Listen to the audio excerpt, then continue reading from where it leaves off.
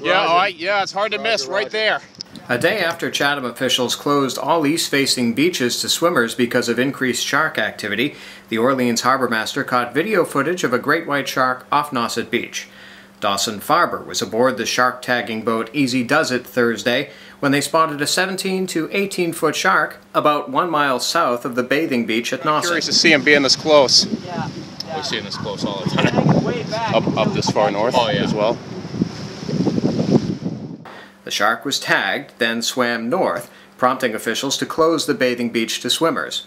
Farber said at one point the shark was no more than 25 feet offshore, though people on the beach could not see it because it had not breached the surface. The crew of the Easy Does It, with researchers on board, tagged two white sharks off Nauset Beach that day.